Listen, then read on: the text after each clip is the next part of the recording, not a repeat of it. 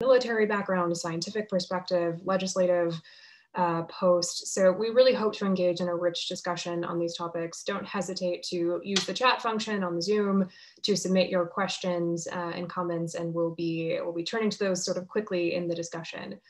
Um, now, it won't be lost on many of you that the title of this event um, is actually pulled directly from a pledge made by then candidate, now President-elect Biden, uh, made uh, actually quite early on in his campaign. Um, it was lost a bit because of the, the other, most of the attention on his climate plans were around emissions and mitigation. But actually, the, the Biden campaign and then the, the Biden Harris campaign was actually quite forward looking and uh, quite ambitious, I would say, in, in thinking about climate security as well as climate change more broadly. So uh, his policy plans committed to uh, do exactly this, to elevate climate change as a core national security priority of his government. Um, his team also included a few specific commitments um, around orienting security briefings and intelligence assessments, as well as national security strategies uh, around and towards um, understanding climate change.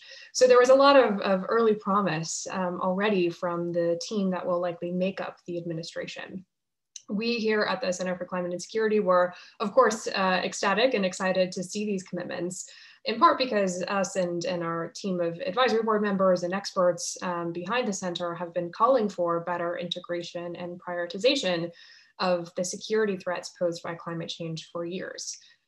However, campaign commitments and high level goals are one thing, actually delivering on those ideas are an entirely another thing uh, uh, that, that one must do.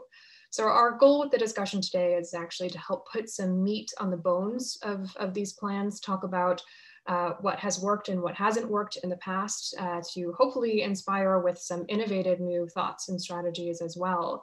Um, and to, to, really offer the wisdom of a group of leaders who has been there before, um, and hopefully some new energy as well of the people picking up the baton and, and going to carry this work forward within the Biden administration and of course outside of it as well. So last year, the Center for Climate and Security put out one version of a roadmap um, around how to do this, how to elevate climate security um, in, in the larger realm of national security priorities that the US takes on. This was the Climate Security Plan for America, and I believe we can put a, a link to that in the chat, and it was sent to most of you who RSVP'd for this but it's a lengthy and quite detailed compilation of ideas and recommendations from close experts of in each agency and, and the main offices tasked with this goal. Um, and it offers the president's team a whole of government approach to elevating and integrating climate risks across each agency.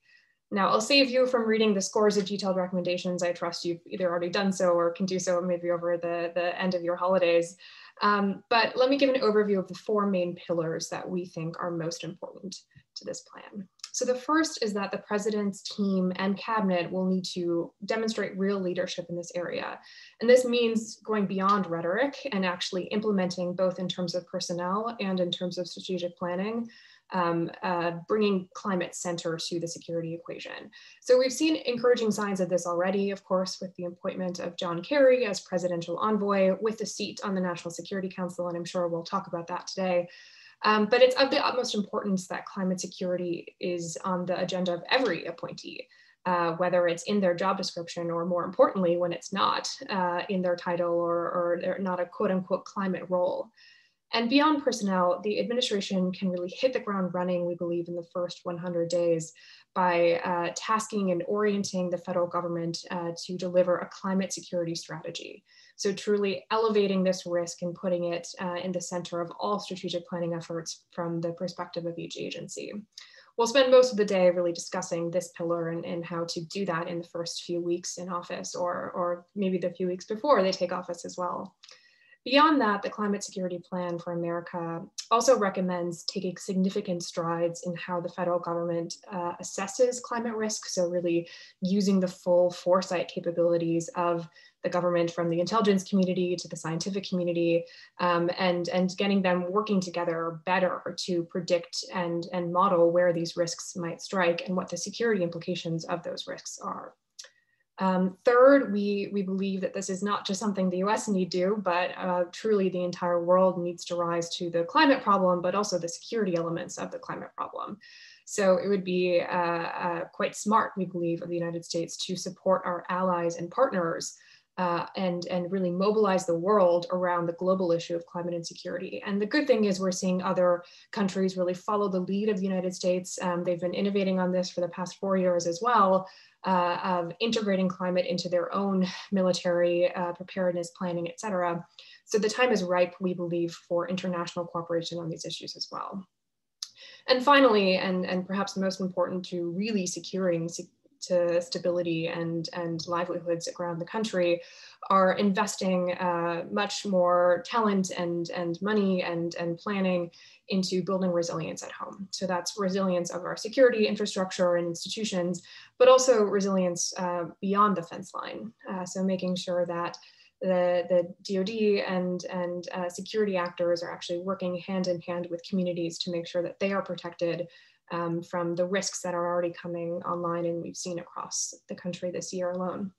So I'll stop there and again, excited to engage in, in each of these issues, particularly that first set around personnel and strategy.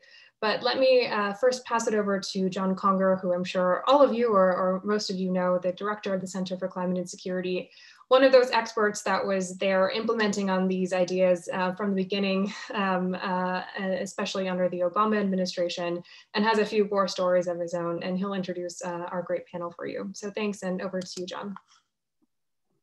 Thanks, Kate. Um, it is a true pleasure to be here today and to be uh, speaking to all of you. Um, we have an exceptional panel. Um, as we as we enter into uh, this uh, full full on transition period, and I know the transition's been going on for a little while, and we get ready for uh, the inauguration, and we get ready for the first hundred days where uh, a, a, president really sort of sets the tone, sets the message, puts the plans in place, puts the personnel in place to to execute on the next four years.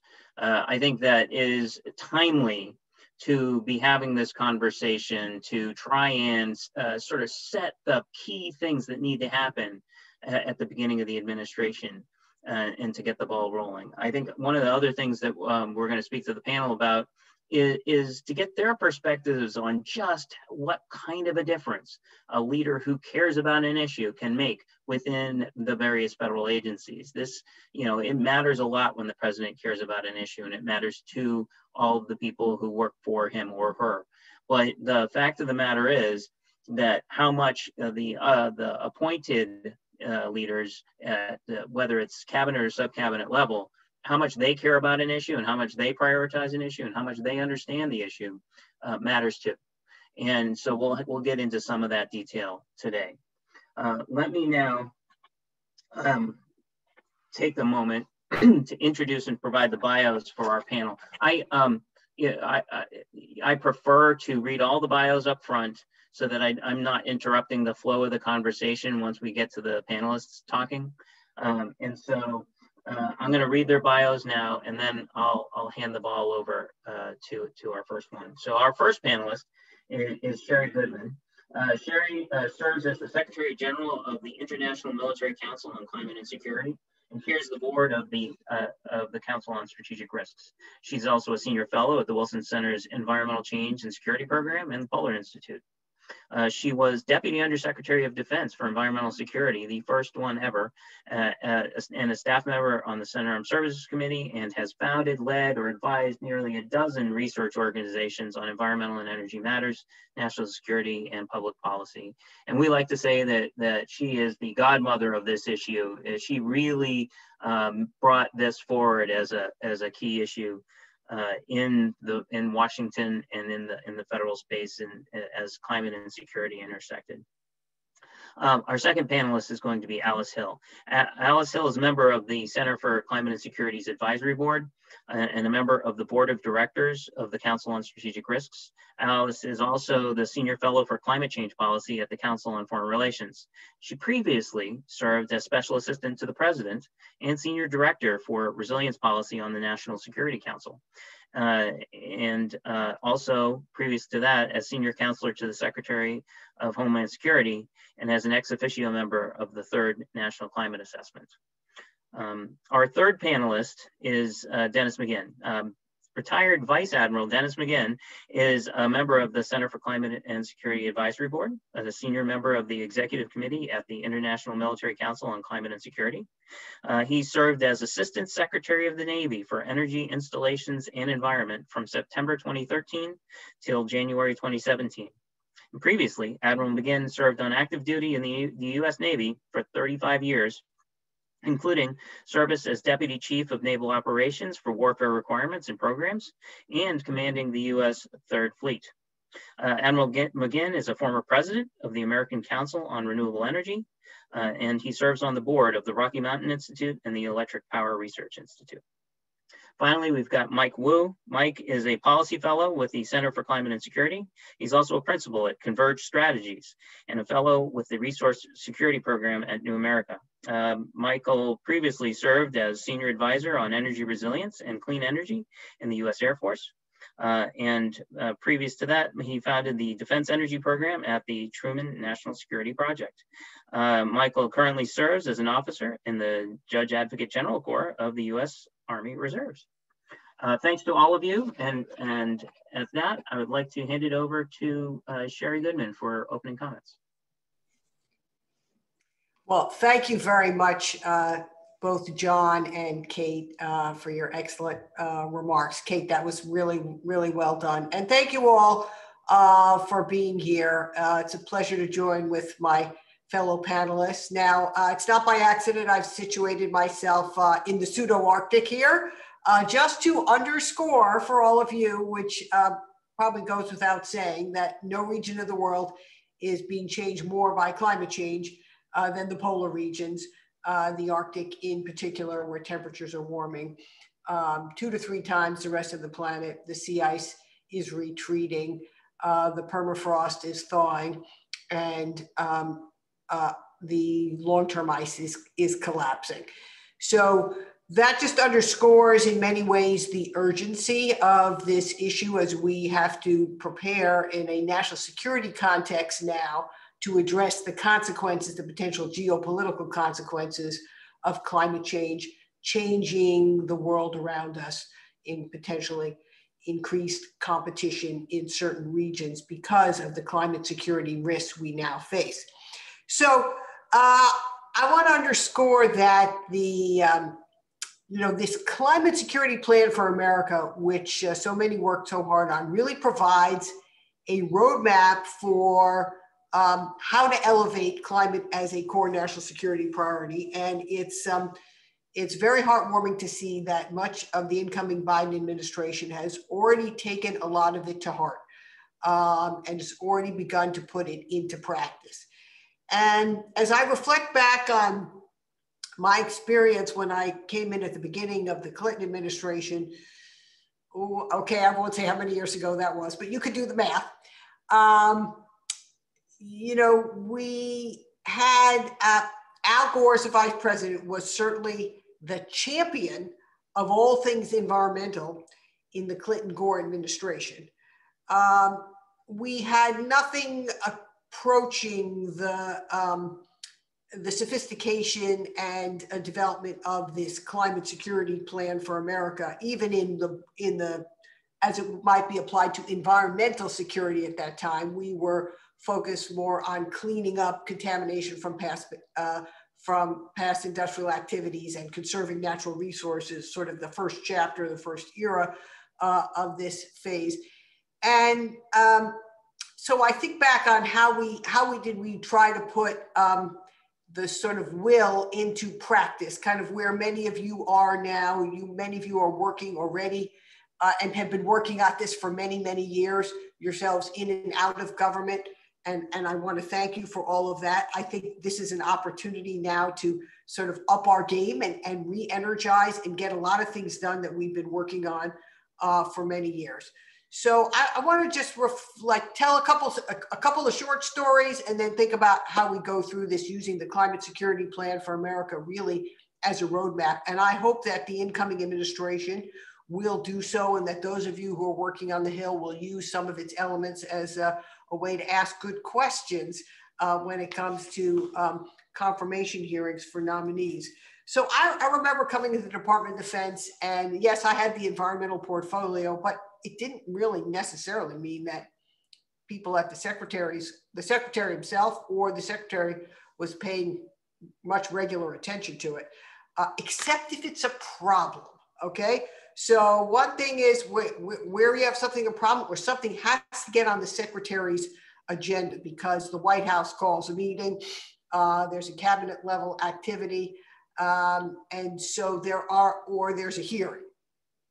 Um, so those are ways to think about how do you raise something up onto the agenda of uh, the, the, secretary. And fortunately, you know, uh, Al Gore and the White House staff wanted to place this as a priority. So there were there were matters uh, in the era related to environment and defense that did did get on the secretary's agenda, and then we we addressed those particular issues. Uh, I will say that it took, though, a few years before I could get the Secretary of Defense back at that time to actually give a whole speech on environment. Uh, and I hope it won't take that long this time because I, and in fact, I used hooks that were available to me, like the hook of Earth Day. Earth Day is a big thing celebrated every, recognized every year by the Department of Defense as a way to recognize uh, the good work that's being done at, by people across, across our installations and installations themselves. And that was always a way to sort of get something on the agenda. So one year I wanted to advance recycling, which was still not happening in the Pentagon with recycled paper. And I couldn't get uh, Washington headquarters service. Some, some of you may even remember Doc Cooke, the famous mayor of the Pentagon. I couldn't get him or, and his minions to agree to use recycled paper because they said it was maybe a half a cent more expensive at that time than um, white unrecycled paper. So I had tried many, many different ways, arguments, memos, you know, going up the chain. So finally, I decided, okay, for the sec- for the Earth Day event this year with the Secretary of Defense, we're going to make it a recycling event. And uh, I got Doc Cooke and his minions to you know, put together all the recycling bins and the accoutrements we needed to have an actual event that the secretary could do a little media play. And all of a sudden we had recycled paper and recycling bins around the Pentagon. Uh, so sometimes, you, you know, you use what the tools that are available to you. And um, I am, I'm hopeful we can be, we can um, both take advantage of those, but also be very dedicated about it. Just when I think about DOD sort of, you know, we, we think about the parts of how the Department of Defense is organized. So, uh, you know, you've got four major undersecretaries. Well, now you have a fifth. Okay, let's say five major undersecretaries uh, of defense. So you've got, um, you know, one for people. Let's start with people or everything, right? Personnel. And so um, how we think about how we do personnel and readiness, how we do our people strategy should also reflect our climate security priorities. Uh, then you've got um, words, which is policy words. Okay, so obviously the strategy, a lot of what we talk about in there, we've got to have a strategy. It's got to be threaded throughout our strategy, plans, programs, policies, all the stuff that OSD policy does. Um, and then you have things, the acquisition, you know, that's where the offices of installation and environment traditionally have been. But how we buy our major weapon systems also very much reflects today our climate security and our low carbon. We have DoD is going to have to be able to lead by example as a one of the nation's largest energy users. That's going to be a very a very big challenge. And then um, you've got money, where it all comes down to. Uh, money. And we have a former uh, deputy comptroller here with John. So at the end of the day, as we say, strategy without resources is hallucination.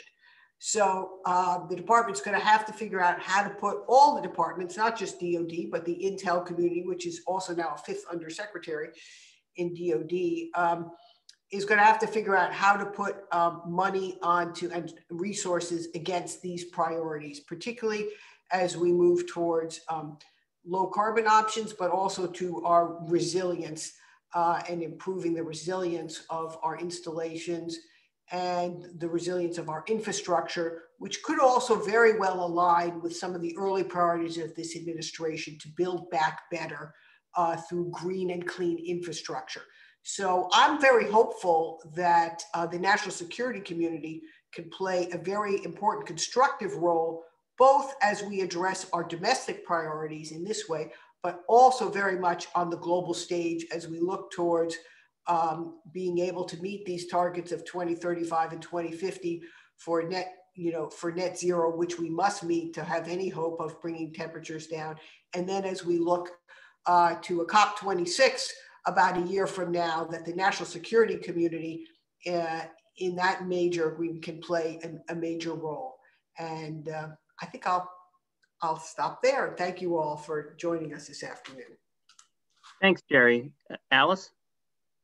Sure, thank you. And thank you, John and Kate, for organizing this. And I'm really honored to be uh, on this panel of people who've devoted a lot of time and thought to how can we do better for planning and preparing for national security risks from climate change.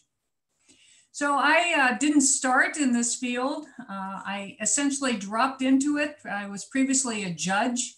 So I had uh, had security experience, at least uh, through the criminal law and understanding how we uh, deal with events after the fact. But in 2009, I joined the Department of Homeland Security, the third largest department in the United States, uh, of course, born out of the events of 9 11. President Obama had just issued a, an executive order requiring all agencies to engage in adaptation planning. As I remember the events, I'm sitting around a conference table at DHS, uh, which is responsible for immigration and FEMA, Coast Guard, and they're looking at this order. Uh, no hands are going up. Climate change was politicized then, it still is now. So people looking around, they say, oh, give it to her, she's new. And that's how I ended up working on climate change. And I was the beneficiary of Sherri's work, of um, uh, the Navy's work, as we've heard about, and all the thought that had gone on to this issue before. But we asked ourselves at DHS, does this big, sprawling anti-terrorism department need to focus on climate change at this time? Probably a fairly insubordinate question as I look back on it. But we concluded then in 2009 that we needed to care deeply, that there were security risks posed to the homeland, as well as national security geopolitical risks posed by climate change. More than 10 years has elapsed since then. A lot of work was done in the Obama administration. I led the development of the order that President Obama signed on national security and climate change. President Trump then rescinded it. But we've lost a lot of time, honestly. Uh, we've seen uh, that our probably our greatest rival now, China, has taken advantage of the time. It's declared itself a near Arctic nation, uh, has already uh, proven that it can cross the uh, Arctic uh, Ocean it uh, has indicated it has greater um, interest there than we would have thought. Uh, we are behind in our building of uh, icebreakers, and we are uh, certainly not doing as much as China is to deal with flooding, which is a, one of our greatest risks right here at home in the United States. They're also building a global fishing fleet so that they are prepared uh, as fish move towards the polar regions, as we've heard from Sherri, as the in search of cooler waters. So we need to get serious, and uh, fortunately, a lot of people have put in great thought uh, and come together on this plan that has been described, which sets forth an agenda. We can't wait for people like me to learn the issue when they get on the job. We need for people to be ready to go as soon as they get into this administration to turn their attention to national security risks posed by climate change. We are somewhat behind this issue in the United States, in my judgment, compared to others in understanding how this could affect what we have traditionally understood as national security if people lose access to fresh water, food, shelter, as they will with either acute events, storms, such as we saw just this uh, past month in Central America, which is now at least fueling greater migration and pressures immediately on our borders uh, in the south. Uh, or we've uh, seen other events, uh, extreme heat events across the globe, uh, drought, that will cause people to be on the move. The International Red Cross has estimated that by 2050, 200 million people a year will be displaced. And we have no current plan for what we'll do with those who are displaced that remain stateless. For example, those who are in a small island nation that simply disappears. So we need to get busy. And I have three pieces of advice based on my own experience uh, of landing in, in, in administration and trying to figure out how to make best use of my time during a limited stay, as all political appointees have. And the first is be serious about a 100 day plan. I came to the department, uh, here's my career advice be nice to those you sit next to in law school. I sat next to Janet Napolitano, who became the Secretary of Homeland Security. Um, and when I arrived, she asked me, What's your 100 day plan? And I had kind of a vague idea. My, of course, my plan was to be of assistance to her, but she said, No, really, what is the 100 day plan? And I learned from her leadership that it's critical you actually sit down and figure out what you're going to do during that time and then build your plan from there going forward with identifiable goals. The second thing that I have for you advice is something that I learned when I worked in the White House and we were rolling out really on a weekly basis different announcements about climate change. And it created a generated a um, sense of momentum in the outside that the obama administration was very active on climate. And what i learned uh, through some interagency meetings with uh, john was present is that a meeting is not an accomplishment. Once you get into the federal government you will be invited to in, in the political sphere hundreds of meetings. Your day will be filled with meetings. Sometimes you can't figure out what the outcomes of the meetings are supposed to be. be. But no business gets done, in my experience, or very little without meetings. That's understood, but that's not an outcome. That you called a meeting is not an outcome. So you have to keep in mind at all times what is the outcome I'm shooting for? What are the things? Is it an executive order? Is it uh, a new rollout of a policy? Whatever it is, if you don't have it in mind, it, it doesn't move. Um, and so uh, once I took that to heart, uh, and filled it into my 100 day plan. I began to see uh, great progress in, able, in ability to have myself and my team have identifiable uh, del deliverables or successes uh, during their time. And one thing I was very cognizant of, it's a limited tenure. So you've got to take advantage of it. Few people have this opportunity and you've got to have a plan to really make the most of it. And the third and final thing I would leave with you is something that I learned from John Berry, a very charismatic head of the Office of Personnel and Management. And I think this is just a, a basic management tool that I continue to use uh, now. It's you need you're going to be bomb one is bombarded by the urgent. There are all sorts of things coming in. You need to do this you need to do that. There's a crisis here and that's particularly acute i think in the political leadership within the federal government. The urgent is always overcoming the important. It's very difficult to get to an, something on your agenda that's important. And that's frankly i think why we are behind on national security and climate change. It's a slow moving distant feeling challenge. And there's so much that needs to get done right now that's perceived as much more urgent. But you have to have on your desk that list of what's important and what you're going to make sure you attend to. It's three to five different things that you're going to make sure that you attend to.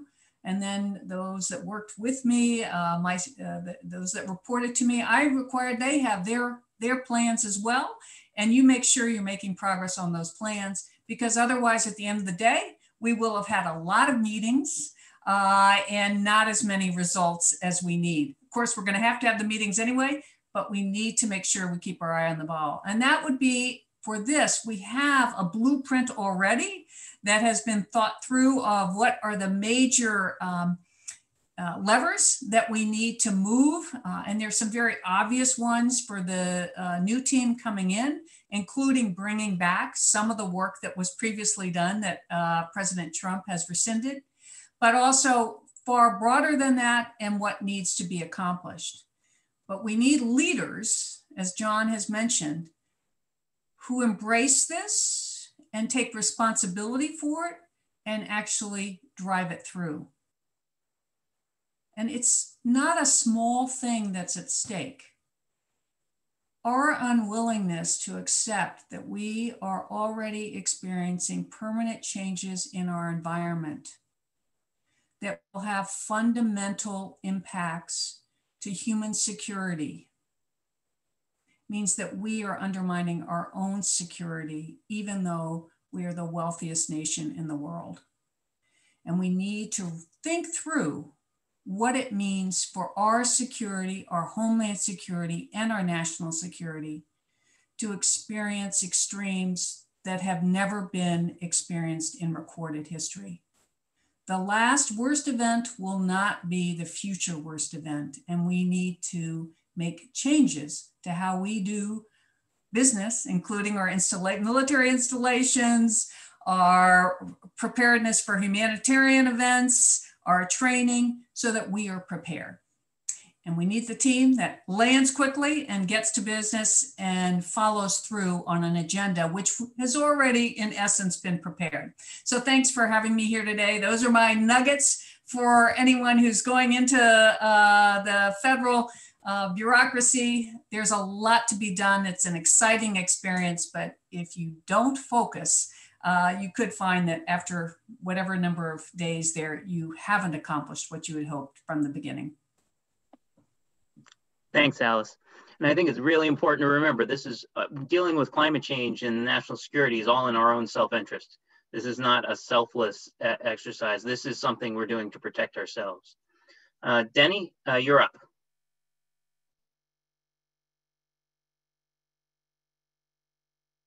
You're muted. That is the uh, the quotation of 2020. I think is uh, you're muted. Uh, well, it's still, I'm still glad to be here with everybody, and now you can hear me. Um, you know, climate change uh, is so inherent to our national security. For many of you, you already get that, but not enough folks do at every level, especially in government. One of the things that we need to do, coming straight out of the blocks of the Biden administration, is make climate change inherent to literally every function of government. And this thoughtful approach has been taken in the climate security plan. So if you haven't uh, taken a look at it, get it, get it, and uh, and heed it. The other thing that is really, really important is to uh, understand the old adage: uh, "What interests the boss fascinates me." And uh, our boss, our upcoming boss, Joe Biden, and his team, and all of, and they will all be bosses down the the chain of uh, echelons it should fascinate all of us because, as John said, this is inherent to our national security. I'm going to use a parallel that's been used uh, more and more over the past months. But how many of us, not in the medical business, medical profession, even knew what this thing it was? An N95 mask a year ago. It was kind of like, what? I mean, that's kind of, yeah, I see those masks kind of over in in Asia and, and other places, but you know, nothing really relevant to us. And all of a sudden, when the threat became clear to us on a personal level, on an organizational level, and then finally on a national level, uh, we started getting serious. And there was and there will be a lot of woulda, shoulda, couldas related to COVID-19 pandemic.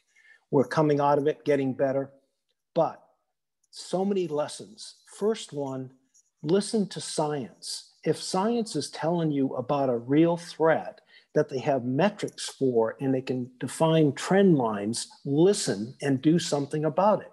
Whether it's uh, mitigation of uh, threats to military installations, whether it's uh, what can we do to prevent the growing instability caused by the loss of basic human needs uh, overseas uh, with our allies and with regions of instability that already exist in the, in the world. So we have to make climate change a key part of literally every exercise of government responsibilities that we have, especially as it relates to national security. And that de definition of national security doesn't stop at the Pentagon. It is basically military, diplomatic, and economic aspects. Our energy security, our environmental security, and uh, our uh, economic security are inextricably linked. And we need to recognize that, that if we are to have national security, we've got to be tending to all of those pillars uh, of, of energy, economy, and environment, especially environment. So back in the day when I was the Assistant Secretary of the Navy working for Ray Mabus, Ray was interested in uh, getting more and more clean energy and energy efficiency.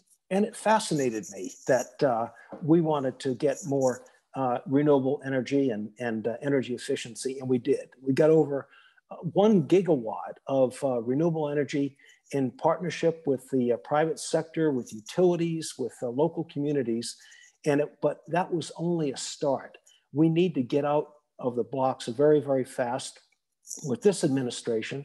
And if somebody starts uh, arguing, well, you know, you can either have national security or economic security, and, and you know, you can be, uh, you can do something about climate change. Nuh-uh. It's not zero sum. It is very, very synergistic. It is a triple bottom line win when we, the things that we do related to reducing the effects of climate change already underway by increasing the resilience of our forces and our bases, and the things that we do to get more efficient and to choose alternative forms of energy that actually make us more mission effective. I think that is uh, absolutely key. No arguments uh, should be allowed about, well, we can do this or we can do, no, we've got to do it all. We can do it all because doing it all gives us a, a triple bottom line. One last point, and I look forward to questions that may have. Um, you may have heard the old expression that uh, culture eats strategy for breakfast. Well, we've got to make sure that in our warfighting culture, in our national security culture, that the danger, clear and present and growing danger of climate change is embedded right in our, our culture. And as Alice said, when you, when you get up uh, and you, you start in your job, you got to make it a top priority, not just uh, listening or talking about it, but actually doing stuff, walking the walk, and as you talk the talk. Thank you very much. I look forward to your questions and continuing this great conversation. Thanks, Denny. And I think that last point is really so important. This is not an either or question. It is not, is climate change a bigger issue or a more urgent security threat than China or Russia or whatever? It is, it is an and issue. It's how does climate change affect China and their threat? How does ch climate change affect Russian behavior in the Arctic? It is, it is integrated and it reshapes uh, all of the traditional threats we have. So we still pay attention to them and Thanks. climate change. And I'm going to go back on mute, John, with your permission. You bet. Um, Mike, you're up next. Yeah, thanks, John. And it's um, I'll just echo Alice's thoughts about uh, what an honor it is to share this panel um, with folks who have shaped the sector that we're talking about, and also um, to join so many participants. I, I, saw the participant list of um, you know just a really close friends and family network within um, the energy, climate change, and national security community. John, you mentioned a little bit about leadership. You know, I had the um, you know great uh, privilege to serve a, a, transformational leader who really cared about her people um, in the Pentagon, working for Miranda Ballentine, who was the former Assistant Secretary of the Air Force for Installations, Environment, and Energy.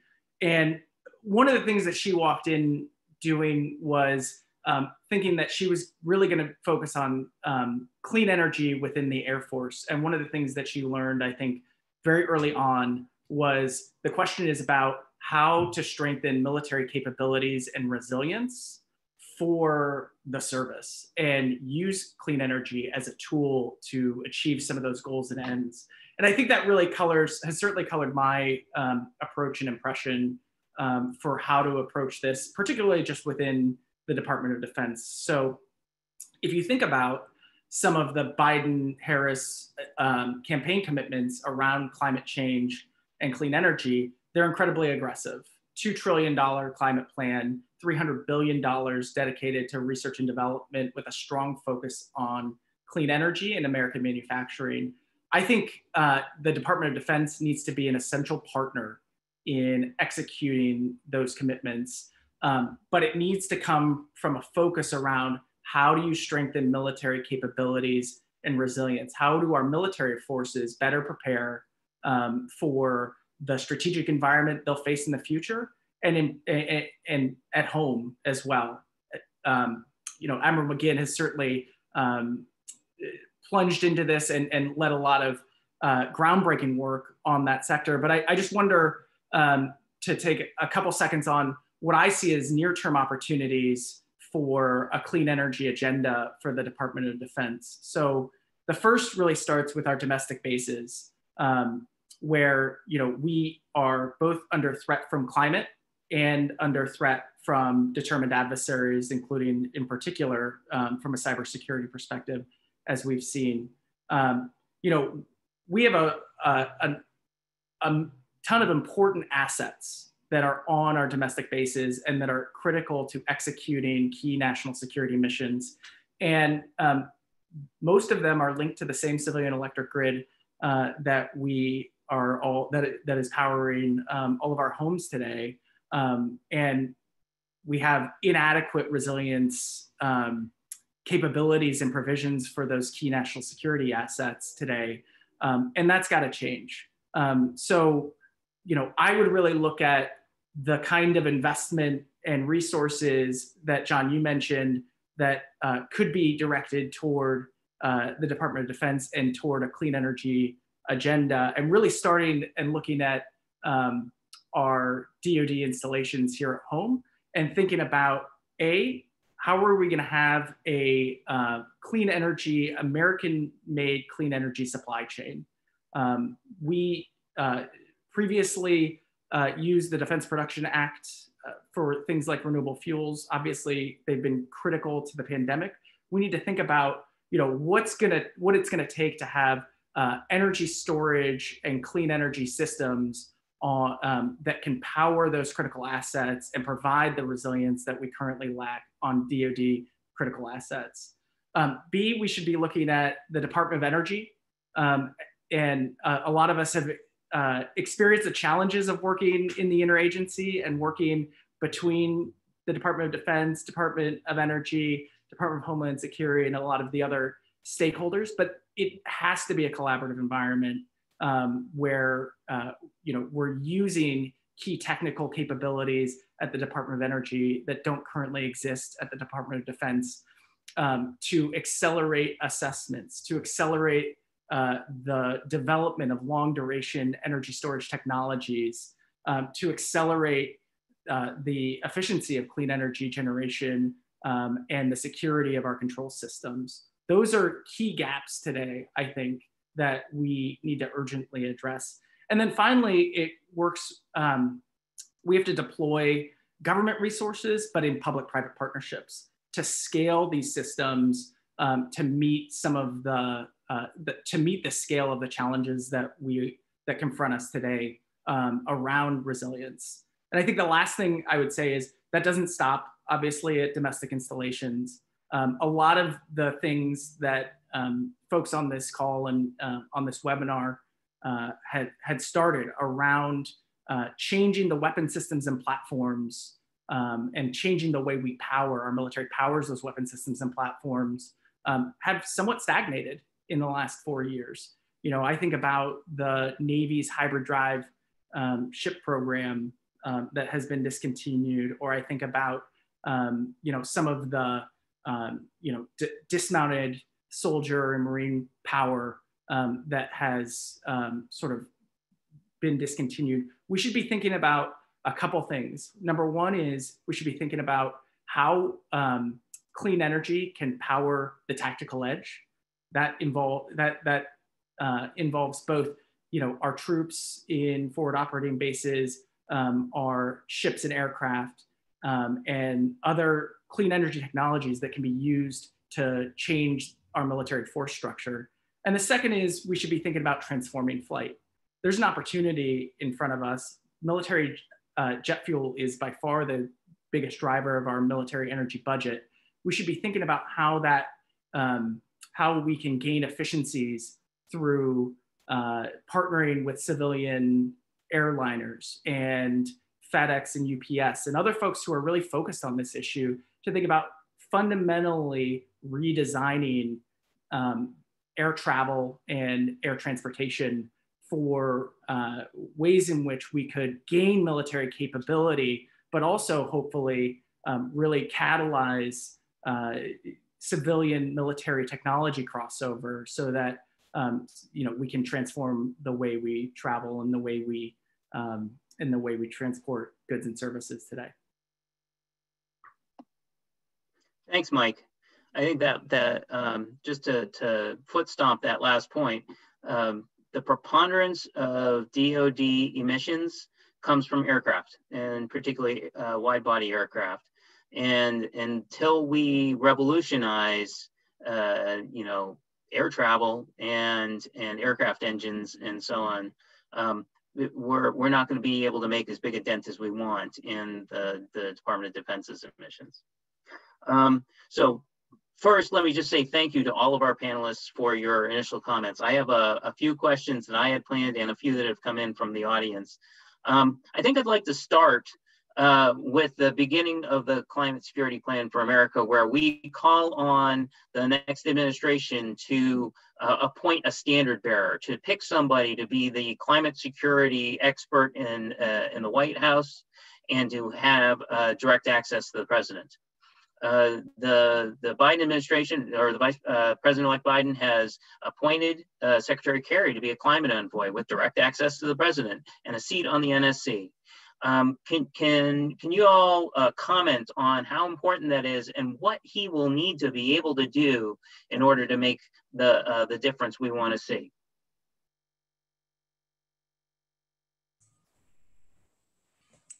Well, I, I can start uh, since I uh, served on the National Security Council staff. I think this is highly significant. It um, makes clear that climate change is a national security risk. There would be no other reason for him uh, to be on a National Security Council. It also um, will allow him to leverage his um, deep uh, foreign policy experience and his many relationships around the world as he pursues the climate agenda internationally, um, globally. Uh, he also comes uh, with deep relationships with many of those who've already been named as part of the cabinet or the White House staff. So I think he will be able to hit the ground running. He is also, thirdly, a longtime champion of uh, greater action on national security and climate change. When we were developing the executive order uh, for President Obama, uh, the State Department team, under his leadership, said, uh, We want to do the same thing in the State Department right now. So uh, rather than wait for our process to go through, I've talked a little bit about all the meetings that you have to get through to get something done. Um, he just ordered uh, that the State Department stand up a group focused on national security and climate change. So he will hit uh, the ground running. He doesn't need any education, and I'm very confident he'll have a 100 day plan and more uh, already uh, ready to roll, and his team will be able to make a significant difference. One of the things I observed when I was on the National Security Council staff is that in many meetings, climate change didn't deserve or didn't didn't merit uh, a, a, mention by those who were uh, responsible for these issues. And in fact, over time, it was my concern that climate change never seemed to make it onto the agenda that began to drive the uh, desire to make sure that there was a mechanism to ensure consideration of the issue. I think that uh, John Kerry being present will make sure that we don't have a discussion of Pakistan that lacks uh, any understanding that it's very vulnerable to um, major natural hazards and that could undermine uh, some of our strategic interests there by way of example. So it's good news uh, for those of us who are concerned that the United States has been uh, somewhat slow to recognize the security risks posed by climate change. Yeah, let me just underscore what Alice uh, said. You're, you're right on, Alice, in, in all of what you relate. And also thank Mike and, and Denny also for your comments, excellent comments. And also, uh, Mike, you're really uh, uh, right there at, at the, at the, uh, at the tactical edge now where, where we're leading. Um, and Denny with your uh, terrific experience. Um, yeah, I served on Secretary Kerry's International Security Advisory Board when he was Secretary of State, and that board reported to the Undersecretary for, um, uh, I think it's called Non-Proliferation and Arms Control. It was Rose Gottemoeller at the time. Usually, it had the it was the hard security portfolio for the State Department. Um, and he made sure, as did Rose, that um, you know we integrated climate security into a number of studies we did, from one on the Arctic uh, to another on energy security. Um, even when we were, and when Kerry came to address our board, he always wanted to talk about climate change and oceans uh, because those were his really big passions. And so I think he's going to carry that through uh, to his seat on the uh, National Security Council and and not be afraid to ask questions, uh, meaningful questions when in the early phases of administration, they're doing a you know regional strategy, strategy for China, strategy for Russia, you know, regional strategies around the world. What are the climate dimensions of those strategies? And then how what roles should different agencies play? Um, and he also at state was very determined to integrate uh, climate change and climate security into all of the foreign policy planning processes and stood up a dedicated effort to do that. Um, you know, he invited uh, the CNA Military Advisory Board, myself, and Lee Gunn, and a few others to come and brief uh, a number of his uh, staff on that, and I'm sure he had others as well, um, so that he could advance this thinking throughout the State Department.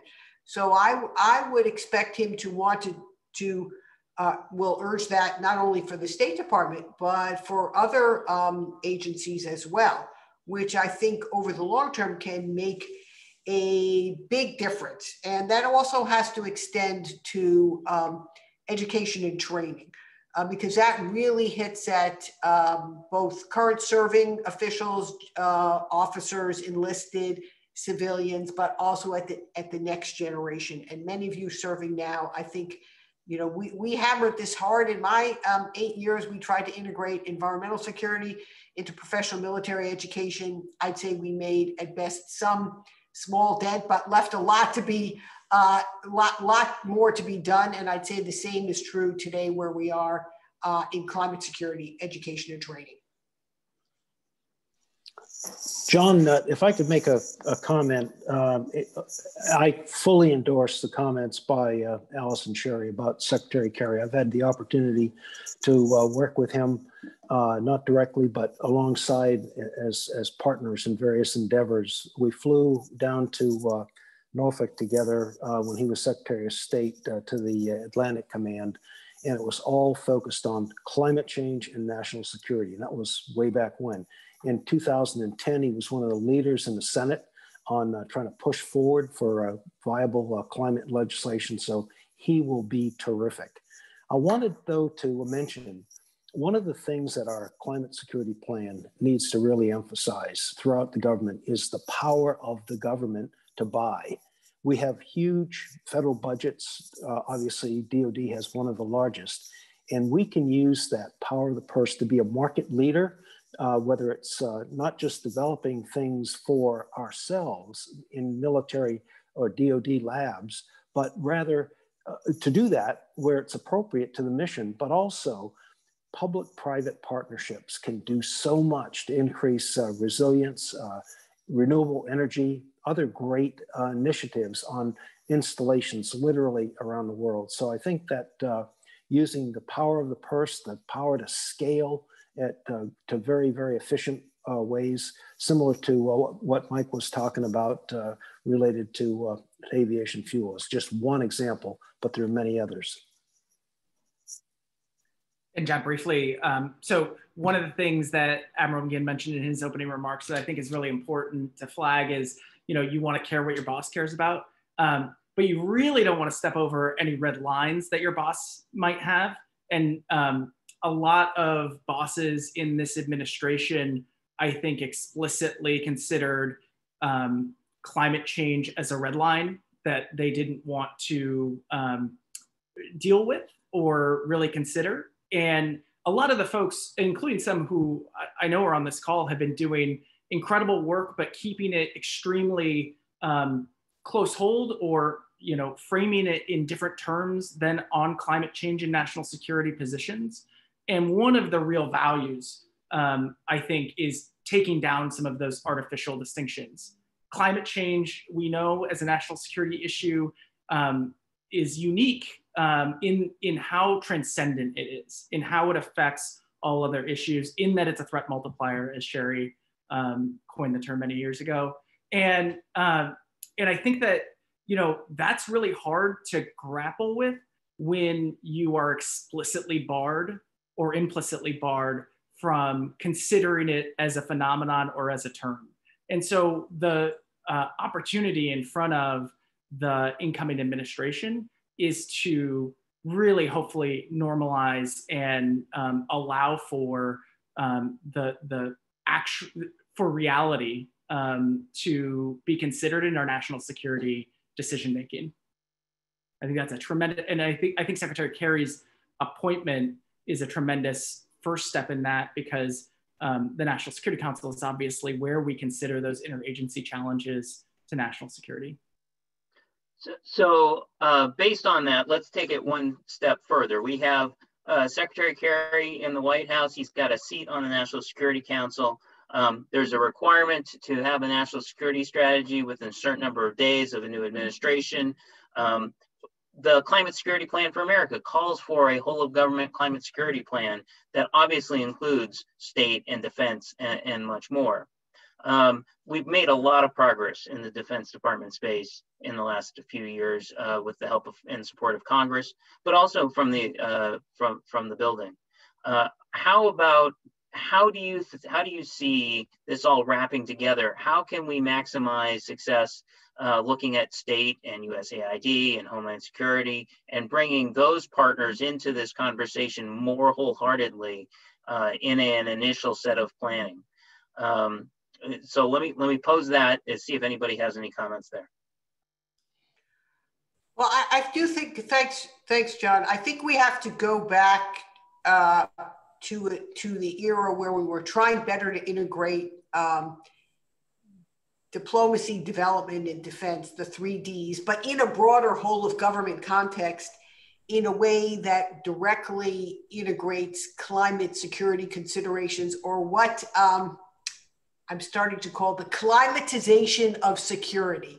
Climatization of security.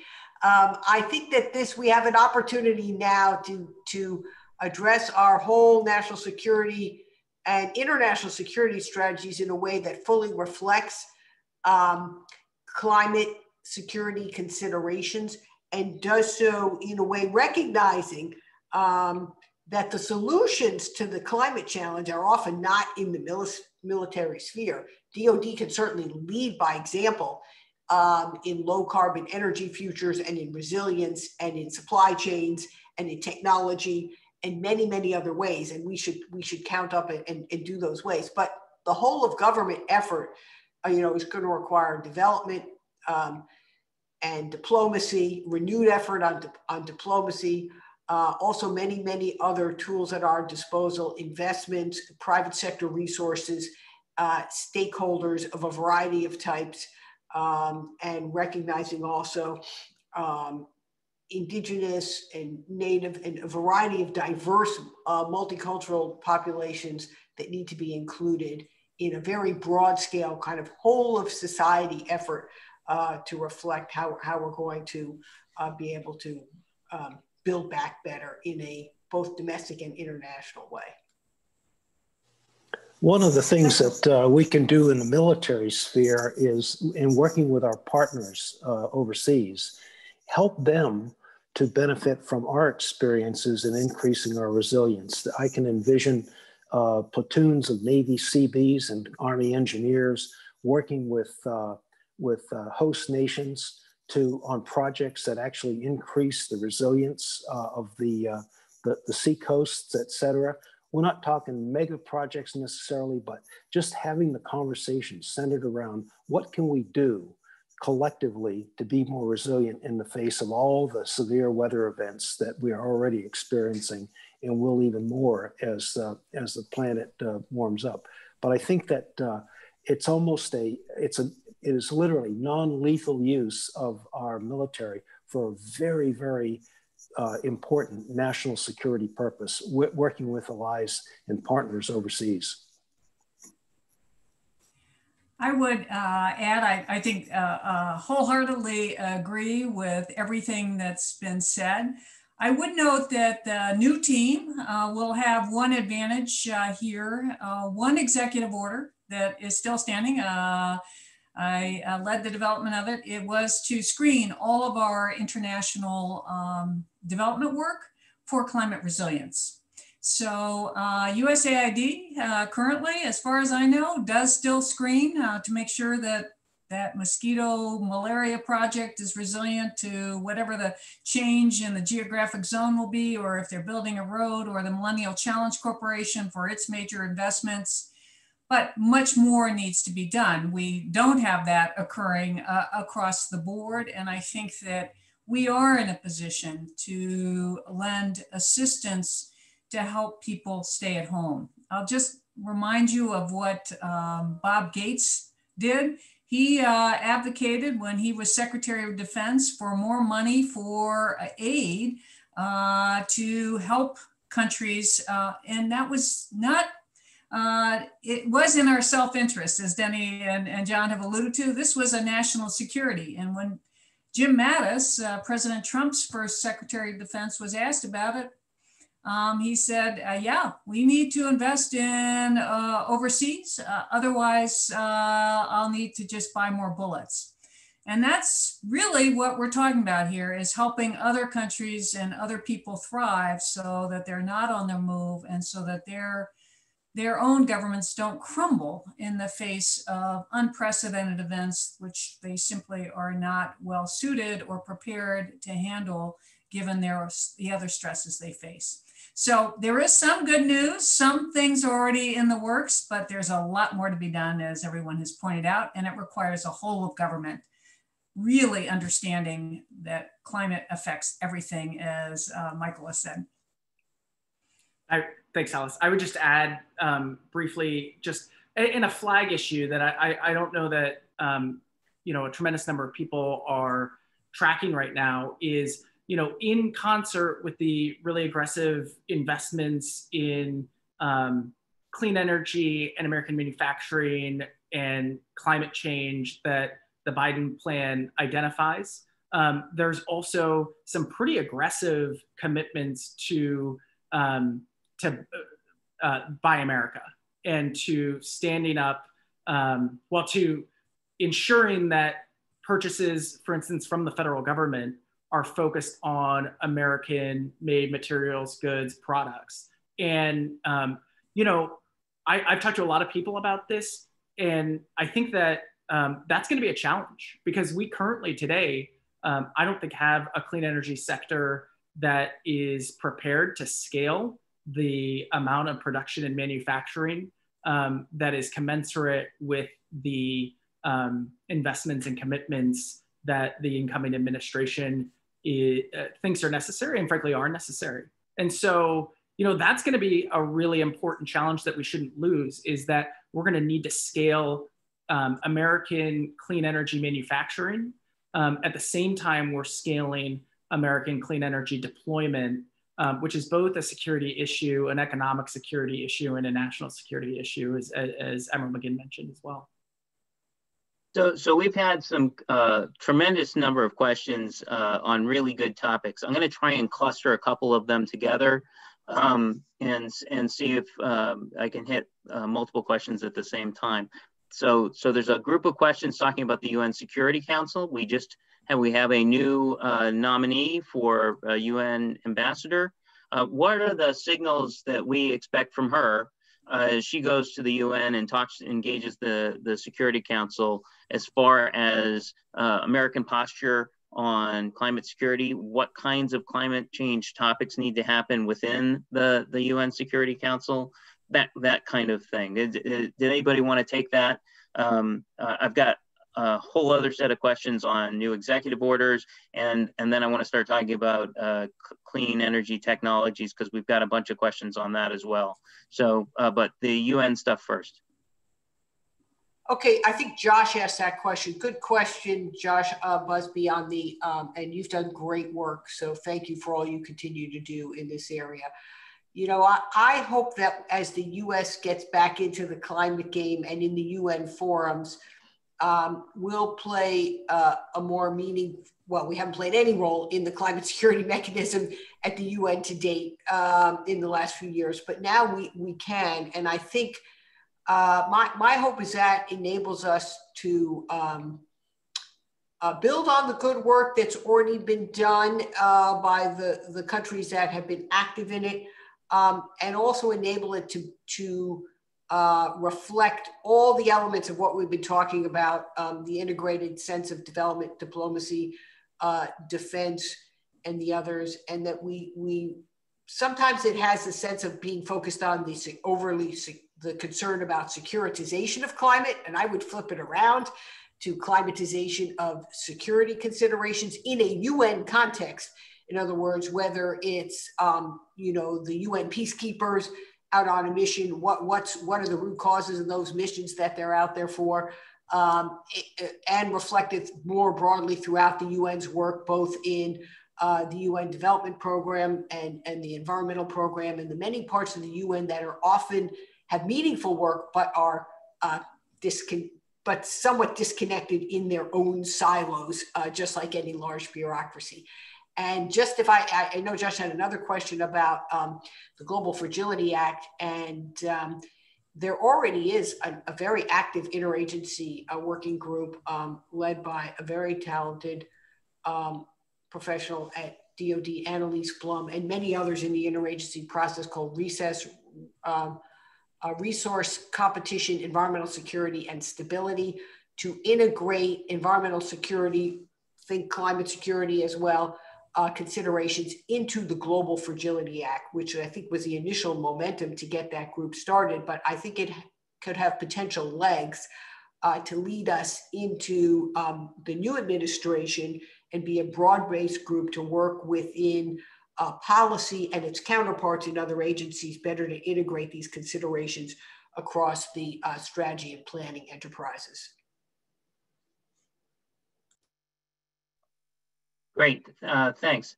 Um, so now let's talk a little bit about, you know, as we walk into the first 100 days or even shorter, there's a bunch of executive orders that have been promised. There have been executive orders promising um, that uh, new investments aren't going to have the same carbon impact or that they're going to have more resilience uh, and so on and so forth. What what are we expecting? What do we uh, what do we think we really need as far as uh, key topics for new executive orders right at the outset of the administration in order to shape what we do going forward? John, I'm sure that the transition team is reviewing every executive order that has been issued over the last four years. And uh, they probably put them in categories of, okay, let's keep that one, makes sense, it's helpful. There are others that uh, are going to be immediately, let's throw that one away. That's a, a red alert, and some that are going to be in the uh, in the corral that says we need to figure out whether we want to do something about this with a new uh, legislative initiative or a new executive order. But I know that that process is going on now in the transition team. But that executive orders, as the uh, the team is uh, is forming up are going to be the, one of the main tools in the toolbox. And uh, I would target those things which over the past four years have not been helpful to uh, increasing our national security in the face of uh, growing climate change.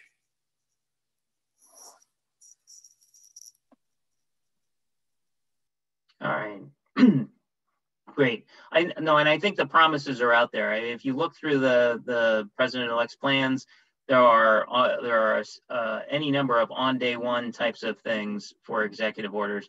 I think that uh, from from our perspective, uh, and a lot of this is on day one. What we need to do is make sure that we have a strategy in place and a um, a list of concrete act and measurable actions uh, for those first hundred days that we'll be able to measure against for the next four years. So you know, we won't pretend we have all the answers right now or that they have all the answers right now, but they have to develop the list of things to do early on and so there's going to be some urgency, Alice, as you pointed out, um, in that first hundred days. You need to you need to be able to set that list up.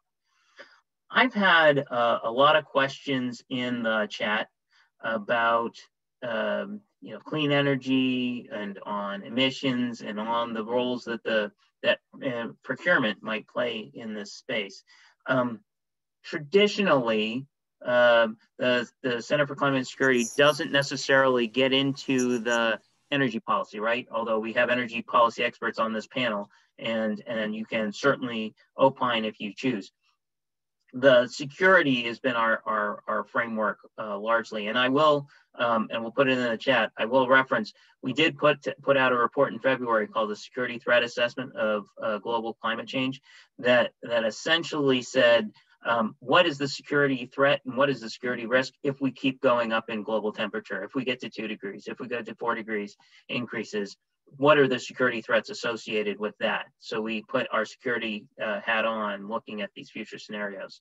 Um, and there it is.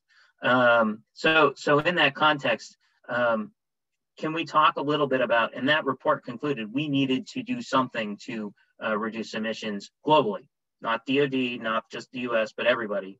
Um, it, I'm, I want, I've gotten enough questions on this in the chat that I want to open it up to what do we think that the new administration needs to do uh, from that perspective to, to tackle that problem. I know there's any number of things, but uh, I wanted to let you all comment.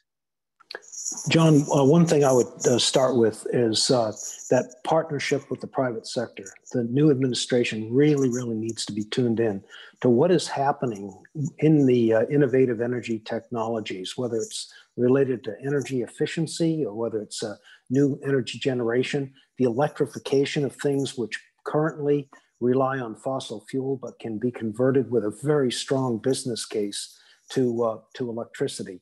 Uh, uh, I know one of the initiatives that, uh, that I'm aware of is called the Low Carbon Resource Initiative. That's being led by the Electric Power Research Institute, which consists of every kind of uh, utility company, not just in the US, but, but around the world. So the, being informed by the private sector and uh, adding an amplification whether it's on procurement or awareness or whatever, it really, really will help. One other point uh, quickly, there's a lot of, lot of interest in hydrogen. Uh, that is in the production of green hydrogen, how you can store it, how you can transport it, how you can use it to convert it into electricity or heat or whatever. And I think that's going on in, in Europe. It's going on big time in, uh, in Asia, especially in Japan, and starting uh, now in, uh, in North, North America. So those are a couple areas that, uh, that would lend themselves to uh, federal uh, procurement, federal interest, federal partnership. I would uh, agree with everything Denny said. Actually, we have to um, cut our emissions. Uh, this is we have to avoid the very worst of climate change. Uh, what we're talking about with national security and climate change, of course, is um, managing the unavoidable. One thing that we haven't really, we've been talking about this as if they're two sides of the coin, which they are, uh, cutting emissions and adaptation or uh, preparing for the impacts. But when you start talking about how we're gonna cut our emissions, we need to also start talking about what it means for adaptation. And I'll just give you one example, which I think that uh, we need to look at all of our power generation in terms of adapting to these new events. One uh, area of consideration is nuclear. And one of the cheapest ways to uh, get nuclear power is to extend the licenses of the nuclear plants that we've had, many of them which were built in the 70s and 80s, when climate change was just not a consideration at that time. They were not planned uh, or constructed or operated with climate change in mind. But we have no governance structure right now to determine whether an extension should be granted. Uh, is that facility that's in along the coastline at greater risk uh, going forward? Uh, is it at greater wildfire risk? We saw wildfire approach San Onofre uh, in California. Uh, we've seen uh, a plant in Connecticut shut down because the cooling waters got too warm. We need to make sure that as we drive towards greater mitigation of emissions, we're also calculating what it means to have worsening impacts. Right now, these two fields are treated very separately. Actually, the experts are generally very separate from each other. National security may be one place it's joined, but there are two kind of groups going here. And if unless we can marry consideration, we're at risk of creating more harm for ourselves. Um, so there, there are other examples of this, uh, but nuclear is probably the most acute since we haven't figured out yet what should be required before we say you can have a license extension on that facility here in the United States or somewhere else in the world where there may not be as strong uh, governance as we have here. Sherri, did you have something you wanted to add? I wanted to give uh, I want to give Kate a chance to comment uh, since she's the principal author of the Security Threat Assessment Report and she has so much uh, to to contribute. Absolutely, Kate. Did you want to add some some thoughts? Sure. Yeah. I mean, I think a, a, lot of it has been said, but if you if you go and read that report, which if the climate security plan for America is is what to do about it, the security threat assessment is what happens if we don't do anything about this, um, and it it really from a security perspective, looks at two scenarios of warming, one in which we constrain our emissions globally and one in which we don't. And uh, I guess, uh, to ruin the moral of the story for you, both are really bad, but the, the scenario in which we don't do anything is completely catastrophic from a security perspective. And so I think what's important when when you look at a report like that is is one, we actually need the federal government doing that type of assessment much more regularly. We need to know sort of what, as to, to Alice's point, what these impacts as they sort of come online, much much of which is already sort of baked into the world for the next 10, 20, 30 years, where US interests and especially where sort of global security interests are going to be impacted. And when we've briefed the, the findings of this report to the Pentagon, to the uh, sort of national intelligence community, et cetera, uh, what they say is that we, we need these analyses sort of in every strategic planning process. Otherwise, we're flying blind to uh, the sorts of changes that are going to be sort of coming online already. Now, in that longer term scenario, I think what, what is uh, abundantly clear is that it is a national security priority to make uh, the transition to net zero to make rapid emissions cuts from a security perspective to avoid that scenario. And I think that is something that the security community is increasingly able to discuss and able to say from a, a perspective that, you know, they didn't often get involved in mitigation conversations before this. But if you look at from a, a you know, threat assessment perspective, that that security uh, scenario is so intense and so catastrophic and so terrible, we need to do everything we can uh, from the front end to avoid it. Uh, I think the last thing that I'll say, and it's something that hasn't really come up yet in the conversation, is that there are huge geopolitical uh, repercussions for these changes that are happening. Uh, you can see a little bit of that in the threat assessment report. But as we said, the Biden administration will need to take into account both the climate impacts as well as the impacts of the energy transition on the sort of global geopolitical stage and how our adversaries are going to start taking advantage of these impacts um, uh, as they, they hit uh, our own military and our interests around the world. Uh, the Arctic is a big region to, to look at that, but it's not the only one, right? Think about the Antarctic on, on the other side of the world or uh, across the Pacific and across uh, Central America and of course the Middle East. Um, so if we have a situation where the ground is really shifting under the feet of all of the security priorities we have it at present, we need to know how and where and exactly in what way those impacts are going to start striking if we're going to know what to do about them. So Mike, you were trying to get in earlier. I want to give you a chance to, to, to comment. It might be on a question, of, uh, one, one question ago, but still. I know, I think it's actually, Kate, I think laid out exactly the right um, foundation for the point that I wanted to make, which is, you know, Kate Kate's report, which is an amazing report, really lays out how complicated, difficult, and challenging our global security environment is going to become, even if we take serious climate action, but obviously um, much worse if we don't take serious climate action. And I think one of the things that we, one of the traps we come into as a national security community is thinking about, um, or particularly within DoDs, thinking about um, decarbonization and strengthening military capabilities as um, something as mutually exclusive objectives, or at least as separate objectives. And I think they're inextricably intertwined. That we that in a in a more difficult security environment where we're going to have um, more challenges maintaining the tail of logistics that currently exists and the ways in which we approach that, um, it's going to be um, incumbent on us to become uh, to to use clean energy as a tool uh, to change the way we power that force so that it can stay on station longer, so that we can project power differently, um, so that we can accomplish an increasingly um, changing mission set and have that flexibility within our force structure. Um, and so specifically, how do we do that? Um, you know, Sherri many uh, uh, in the Clinton administration stood up a program that still exists today called the Environmental Security Technology Certification Program. It's the DoD's Energy and Water Technology Test Bed Program. It's been incredibly successful. It can be scaled up. Um, we um, one of the key challenges that ESTCP has experienced is that do a great job of validating emerging technologies for use but then part of their mission set is transitioning those across the DoD enterprise, um, but it's not resourced to do that. Um, so uh, we should be looking at ESTCP at creating a climate and energy transition fund to take validated technologies um, and transition them across the DoD enterprise.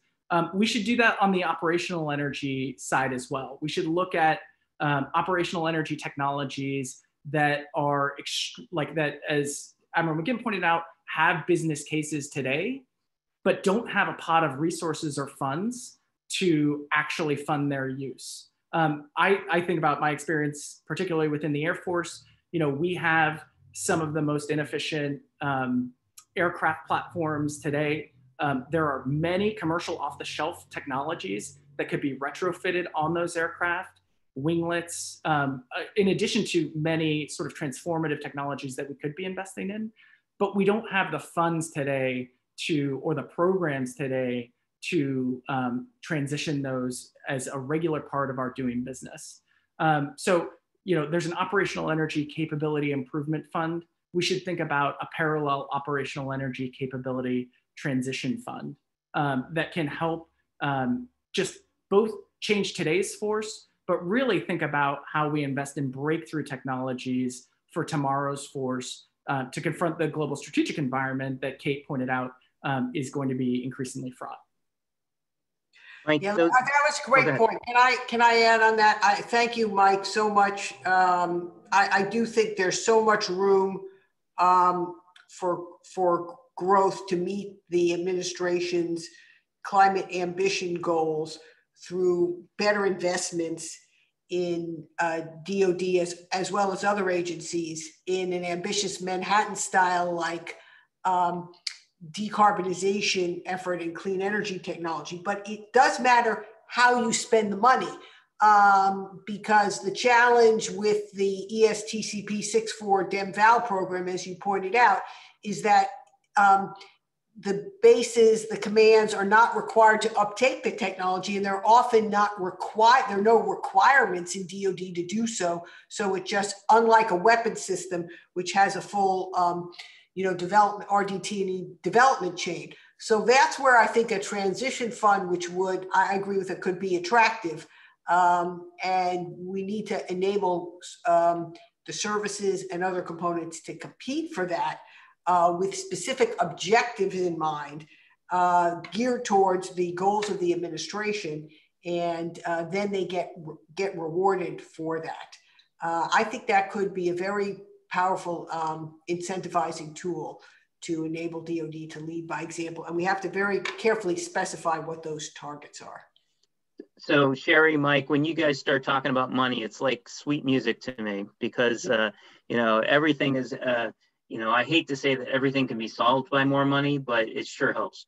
Um, the uh, the now, as we think about the new administration coming in, they're going to have to uh, edit a uh, budget request in short order. Typically, a new administration submits their new budget in April or May, uh, taking whatever that was the draft version that gets handed over to them. Um, they're also going to have a, probably, hopefully, an appropriation measure here passed soon that they'll have the ability to do some reprogramming uh, within if they had priorities to on things to spend within the, these next uh, several months. What, what do we anticipate are the highest priority shifts? If you're looking at it from a climate perspective, um, where is the money going to move or is it not going to move? Is this not a money question really? Uh, and it's just a matter of how you use the money you already have? Or are there significant, you know, Mike, you already gave a couple ideas, significant uh, new investment that needs to be made uh, in a particular area if they really wanted to uh, ma make an impact? Where do we think that, that that's going to happen? John, one of the areas um, having, you know, served along with you in the installations business is uh, there needs to be more money uh, put uh, into our installation resiliency. Uh, we can cite over the past uh, three to four years a terrible, terrible uh, damage that's been done to installations across the country, whether it's Offutt Air Force Base due to floods in the Middle East, uh, in the middle part of the country or Midwest, or Gulf Coast, Tyndall Air Force Base, Atlantic Coast, Marine Corps, Camp Lejeune. So I think that getting more resilience there a policy aspect that will cause a lot of people to pay a lot more attention to resilience is if we mandate that the base realignment and closing commission consider resilience of the installation in making its decisions about uh, which which bases get closed or which ones uh, get uh, aligned.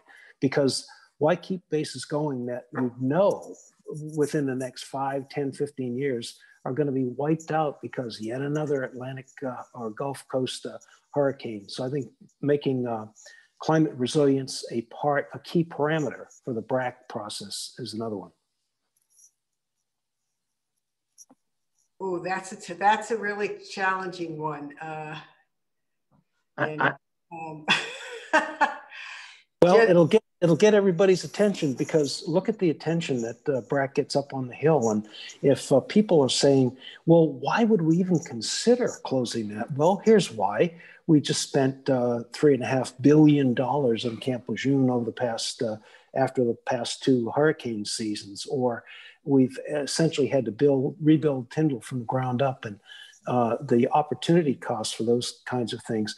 But getting it into the BRAC process gets it in gets the attention of, uh, of the congressional delegations from the various states.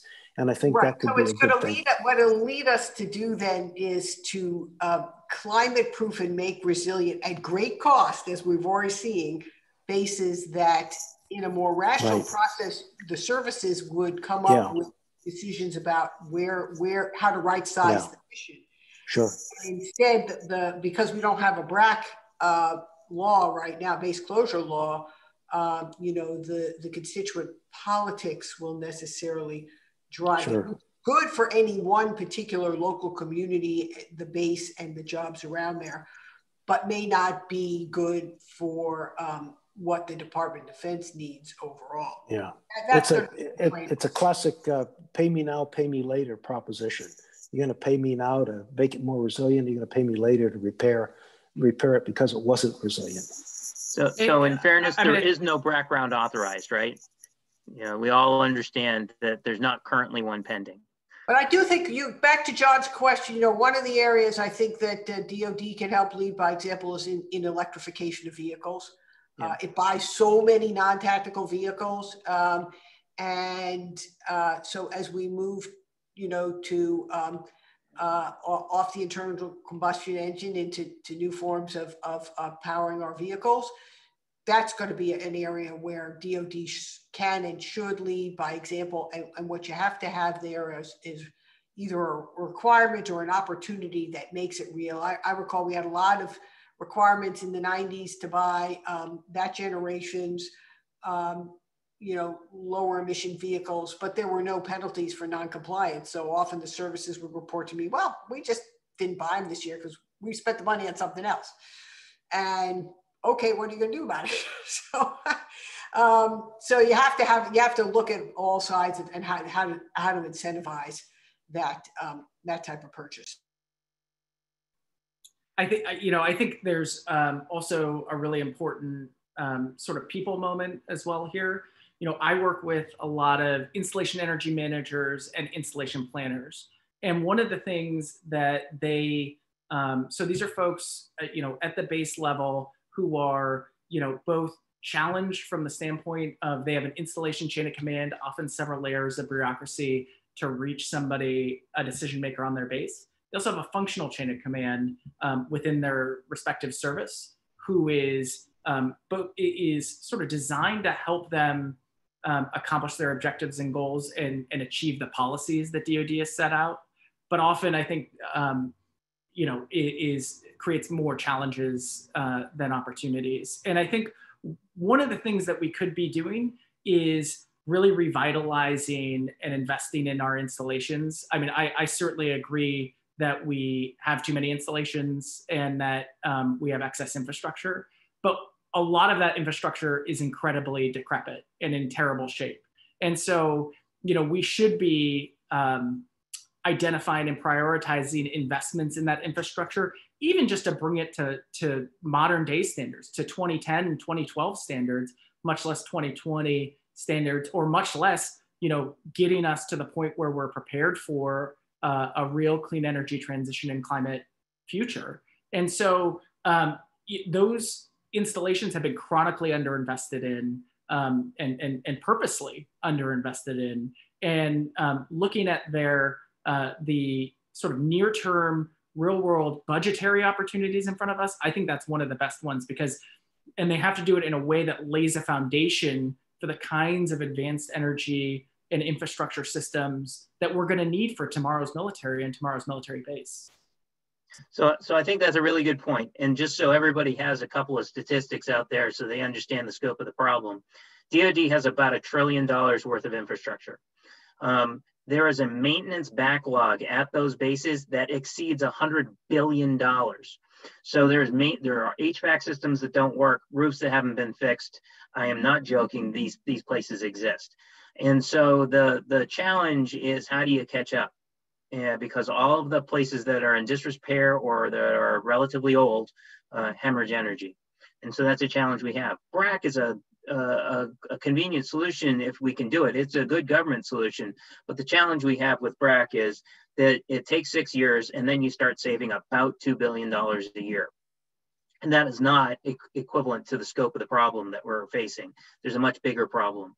I will add that the uh, Biden, uh, the incoming or the Biden plans, the incoming Biden administration, there have been promises made to identify the most vulnerable, the biggest vulnerabilities at those bases and to invest in resiliency. I think it is reasonable to expect a significant uptick in resiliency spending at DoD and in other federal agencies.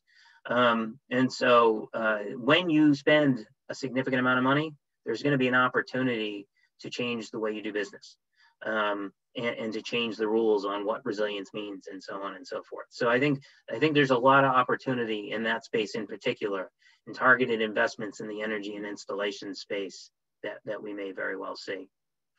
Um, so um, I have gotten sort of to the end of my list of questions, but we're getting new ones in. Um, and, and I know that folks have asked questions in the chat and so on and so forth.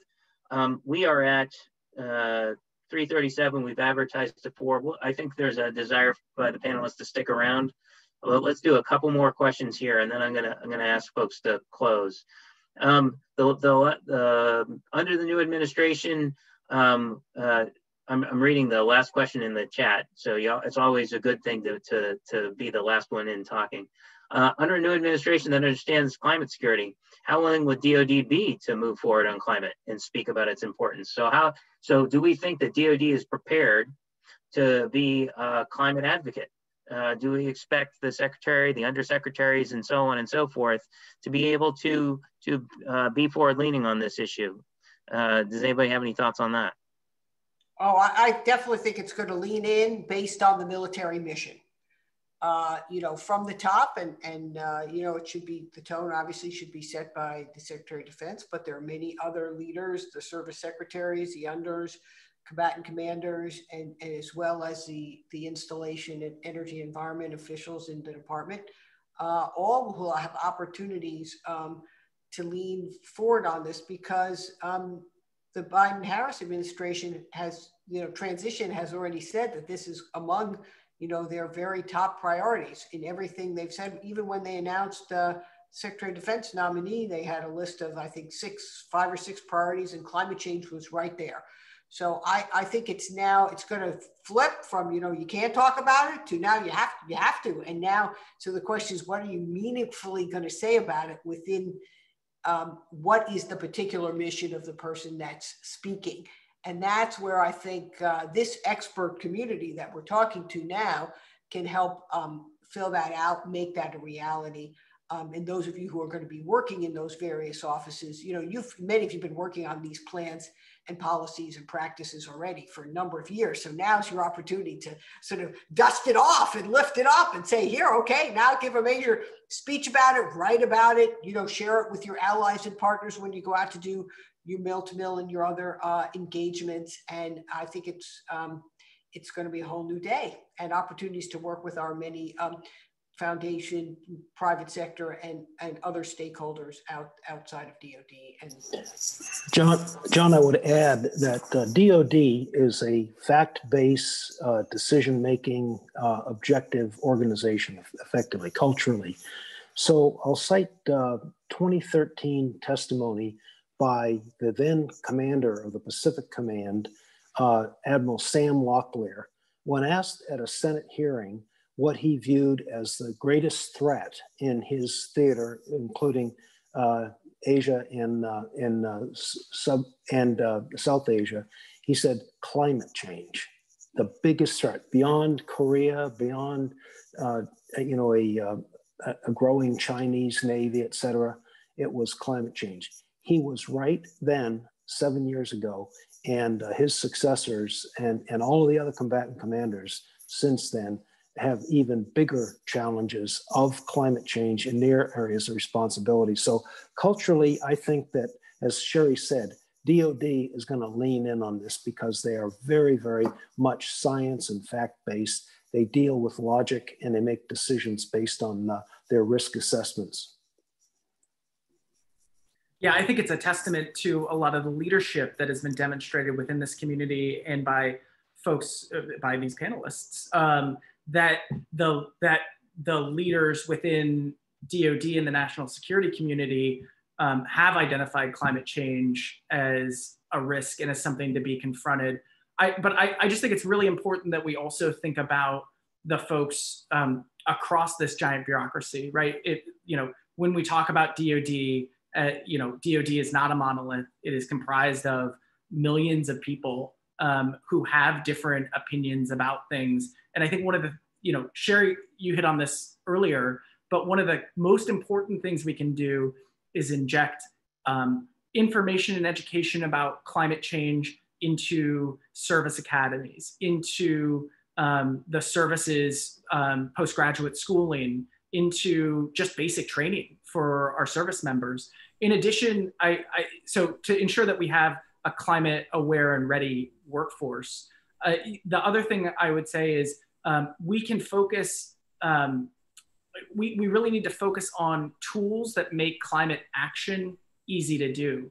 You know, we have um, policy, and John, I think you actually wrote this policy um, that requires uh, us to consider climate change in installation development plans and other documents that are related to um, the future of our of individual installations within DoD. But if you ask the average climate or the, the average installation planner how to plan for the effects of climate change, you know, I they they don't have those tools easily available to understand what likely effects they're supposed to they're going to experience, or whether a particular building on their base that they're planning for currently, you know, it should be expected to um, you know have a particular set of vulnerabilities you know we need to make those um, extremely user friendly and make those um, extremely accessible to our installation planning community and to our operational planning community in the future. I just want to jump in uh, uh, here. I, I do think it will be key uh, for leadership from the top to message this. I have to say, uh, in my encounters with um, mid career military officers, I have encountered some deep skepticism about climate change. Uh, I've also uh, a lack of um, uh, understanding how that affects the military mission. Uh, one story is, you know, I, I, understand what you're saying, but what, what hill should I take? Who should I shoot? And that's not quite what it's at stake here. I will to tell you today, uh, to Mike's point, I think education is key. At the Naval War College right now, there is a class on climate change, but it's an elective. Um, and so uh, there you can vote with your feet and just decide, I don't really want to know about this. Um, and I think that we have, just as we have in the civilian population, we have skepticism that I have encountered within the Department of Defense. And we're going to have to have strong leadership saying that this is the matter you need to care about. To Denny's point, I hope that you're fascinated with this now going forward to really turn around the mindset to understand that this isn't the type of uh, question about who you're going to shoot or what hill to take. Uh, it's uh, about a broader range of considerations, but equally important to our global stability and the national security of the United States. Kate, you had something you wanted to add? Yeah, I just wanted to jump in here and say on the education piece, what I've been seeing, which is really interesting, is, is to Alice's point at those senior and middle management positions that that people sort of have never had to deal with climate change, have never had to learn about it. It's been totally siloed away from from anything that they do on a day-to-day -day basis.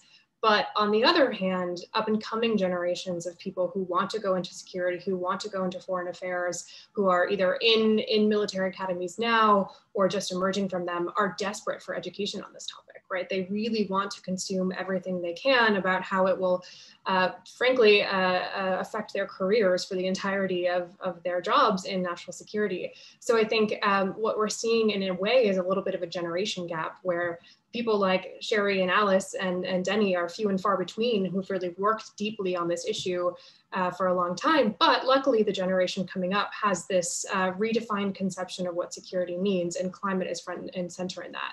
So I think finding those people and elevating them will be really important. Um, and those people equipping themselves with the skills that they need, as, as we've heard, will be um, uh, something that can be hopefully transformative of each agency uh, on the way up.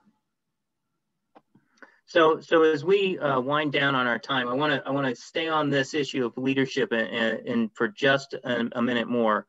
Um, so, President-elect Biden has nominated General Austin. He spent a lot of time in CENTCOM.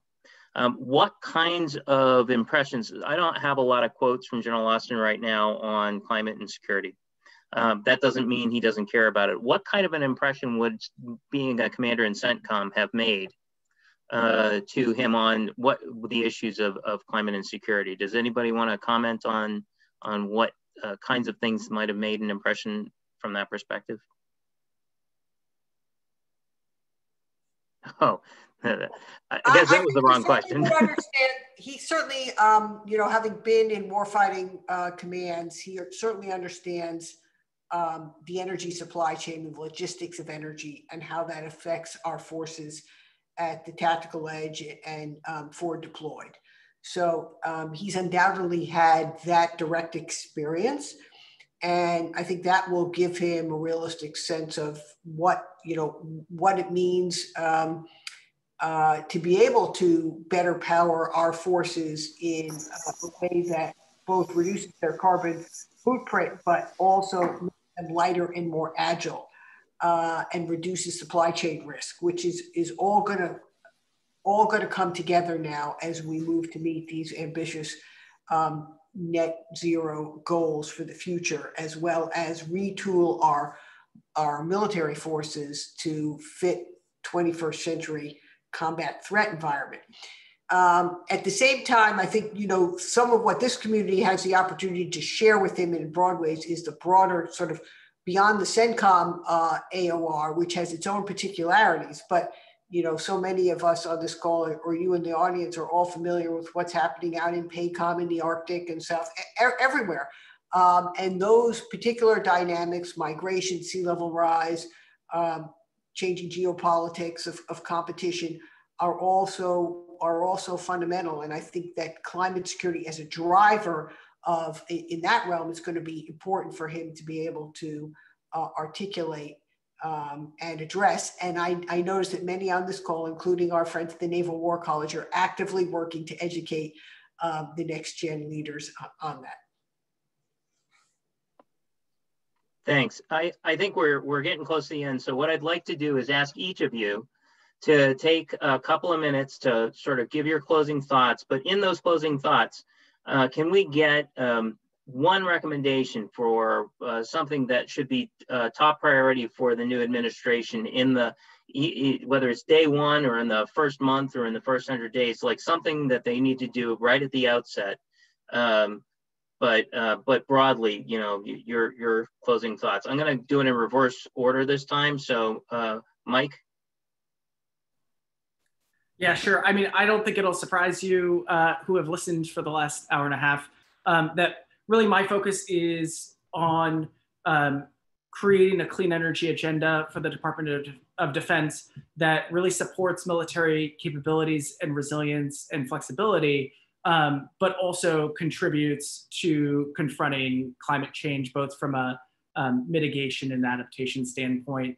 Um, there have been a lot of initiatives and um, work done to uh, make our to to implement clean energy as a tool and as a weapon for the Department of Defense and our military forces. Um, but there's an opportunity in front of us, really, with the again the aggressive commitments of the Biden plan and the incoming administration um, to catalyze and really um, sort of integrate and unify those around a singular purpose.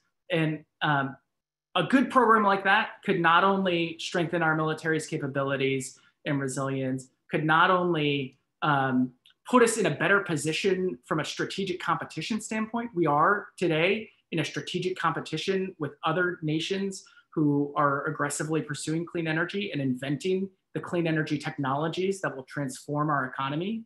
Um, and we can make those here or we can import those from other places um, but also is going to be an important driver of jobs and economic recovery um, post pandemic. So, if I would, one specific recommendation is um, we uh, could look at a new DoD Office of Energy Innovation um, that would both um, work to unify and integrate the efforts uh, within the Department of Defense and across the military services, but also uh, look at the interagency coordinate with the Department of Energy um, and Department of Homeland Security and their investments, coordinate with the private sector. So uh, something, a, a, a, strong senior level leadership position dedicated to clean energy within DoD.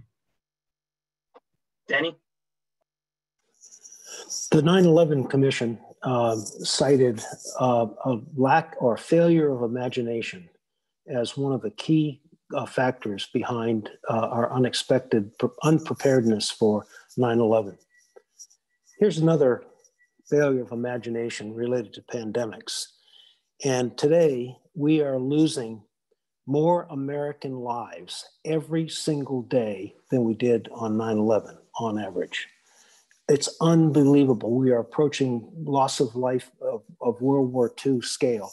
So lack of imagination should not be the reason we suffer tremendous losses of our quality of life, our national security, our net economic security because of climate change. We need to, we need to remember the lessons of the, of, of the past.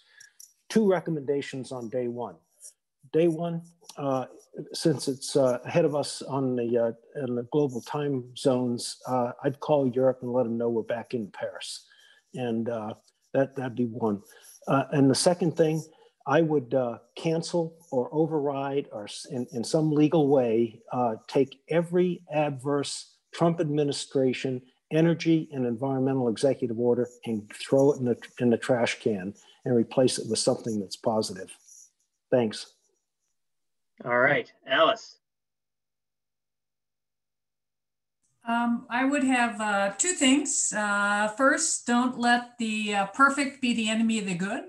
Uh, there was a lot that was done over, the, over, during the Obama administration that was rescinded. We can bring that back right away. I think we could spend a lot of time, just as we did during the Obama administration, wordsmithing that, trying to make it perfect.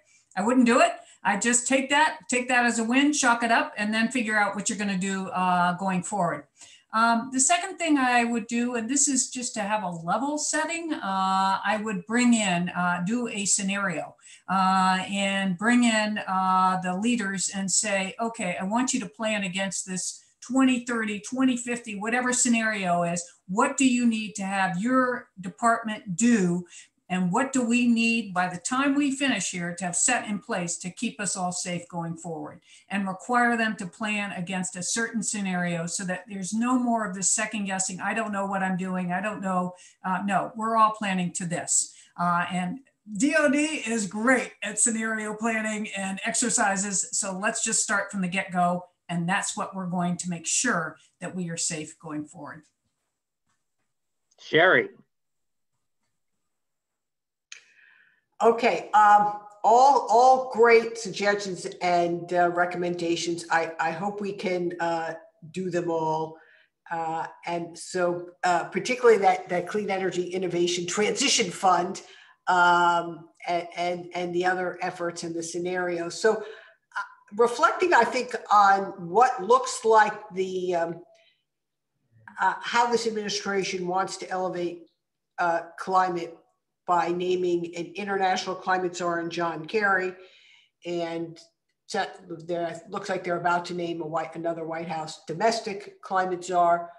Um, I think in the national security community, in the Defense Department in particular, and, and probably there's an equivalent also in the Intel community, um, we need not only to restore the positions um, that have been downgraded um, in level and staff across the services in OSD. And I, I do note that the, the recent NDAA did, did put the Assistant Secretary of Defense position uh, back in place, which is at least the start for, for um, installations in environment and, and energy.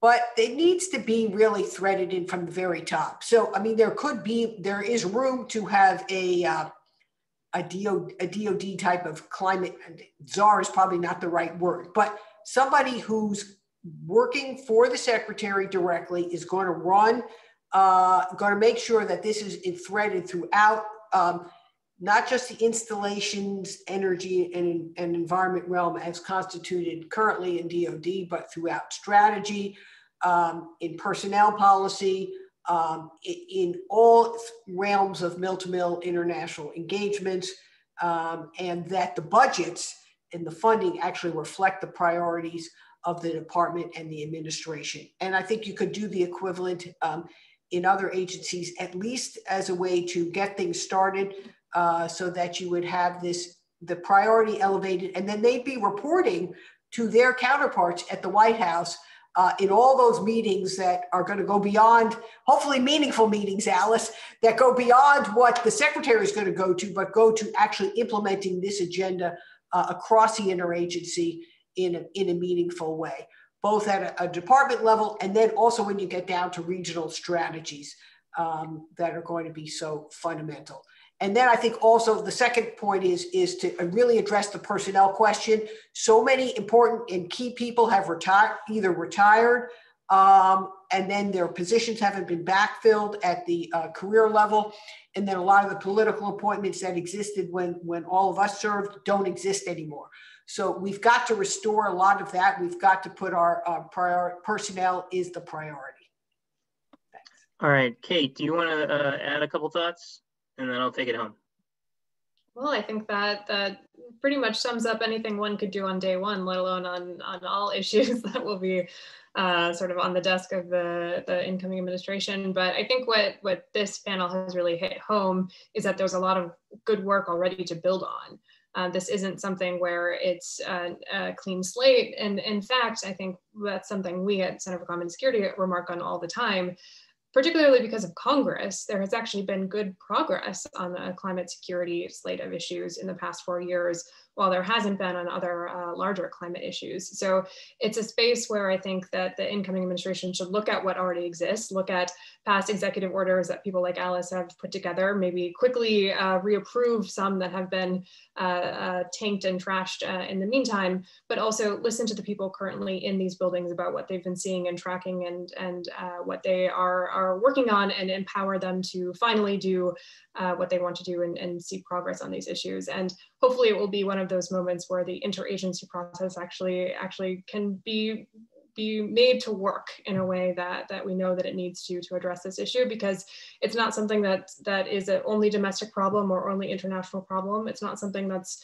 only a defense problem. It, it, we, we need State Department and USAID as well as uh, the, the scientific agencies and intelligence community actually discussing and talking to each other on a, a cohesive strategy on this. So hopefully uh, all of these ideas will come together and be able to be advanced uh, very quickly by the administration.